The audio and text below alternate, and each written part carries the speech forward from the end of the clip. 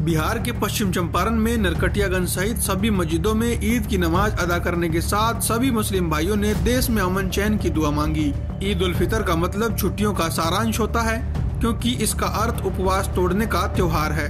ईद उल फितर शब्बाल के पहले तीन दिनों के दौरान मनाया जाता है, जो मुस्लिम कैलेंडर में दसवां महीना है। ईद को ईद उल फितर के नाम से भी जाना जाता है। ईद उल फितर को मीठी ईद के नाम से भी जाना जाता है। मान्यता है कि इस दिन पैगंबर हज़रत मोहम्मद बद्र की लड़ाई से विजय होके वापस लौटे थे। तब लोगों ने पैगंबर की सफलता पर अपनी खुशी ज़ाहिर करने के लिए आपस में मिठाइयाँ बांटी थी और विभिन्न प्रकार के भोजन बनाए थे। ईद खुशियों का त्योहार है।